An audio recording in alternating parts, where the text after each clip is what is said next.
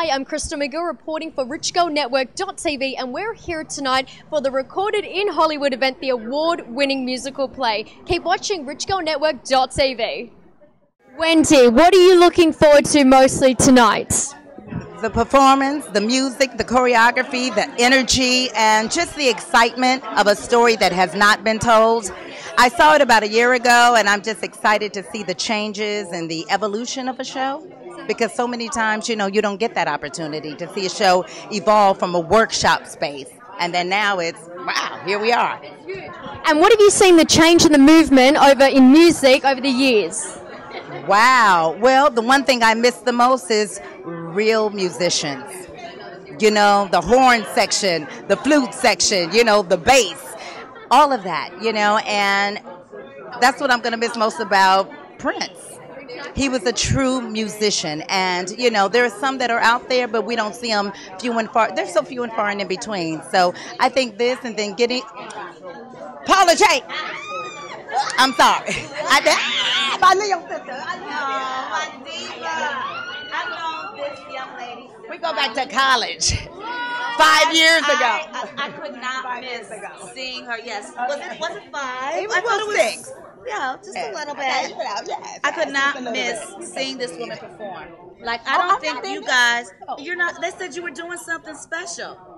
Okay, I'm going. Okay. No, you know what? No, you no. stand right I'm here. standing right here. Okay, we're gonna have you a good all. Miss Sula. Okay, stop. We're gonna have to get this one Okay. back on stage. I'm sorry. You all Okay, just we don't digress. know. We digress. You don't know. No, And we same don't. to her. We go Paula all the way J. to, to, Darker. to what is it called? The wh- Great White Way. Ooh, We got to tell them why it should be called the Robinson Way. Oh, uh, the Huh. Paula Jai Parker way. Yeah, exactly. Steve. That's. What is it called? Broadway. Yeah. Broadway. Yeah, That way.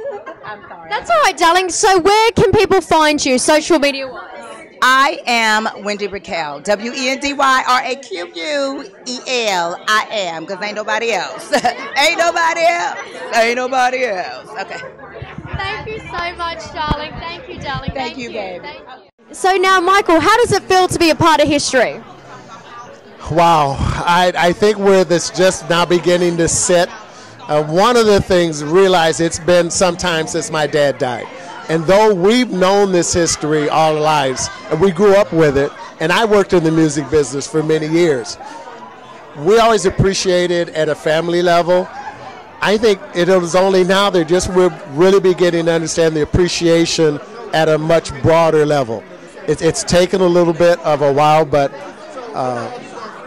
it's, it's been incredible. I never would have dreamed this, and I have to say this: I would not have dreamed where we are now. I get to I get to talk to people who are still educating me about what their experience was with my dad. As early as this this this morning, I talked to a young lady, 87 years old, who said she used to work in the store when she was a teenager, and she had things to tell me that I didn't know. I didn't know her until this morning. And so we have that happening over and over again. At every show, there's somebody who comes up that has their own personal Dolphins of Hollywood story.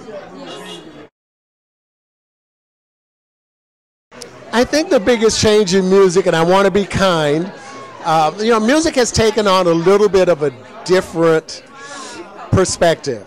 You know, I, I never thought I'd see music that was built around the beat versus music built around the story.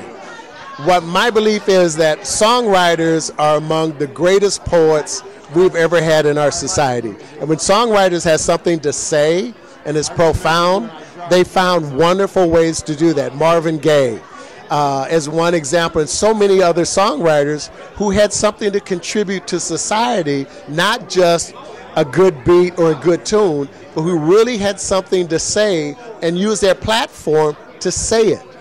It was less about the entertainment. The entertainment was because it was done well. But it wasn't about creating an entertaining piece of music, it was about telling a story.